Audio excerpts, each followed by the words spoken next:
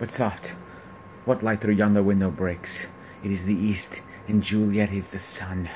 Arise, fair sun, and kill the envious moon, who is already sick and pale with grief, that thou, her maid, art far more for than she. Be not her maid, since she is envious. Her vestal livery, but sick and green, and none but fools do wear it. Cast it off! It is my lady.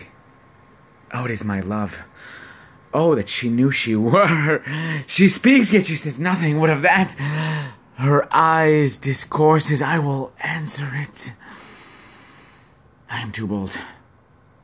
Tis not to me she speaks.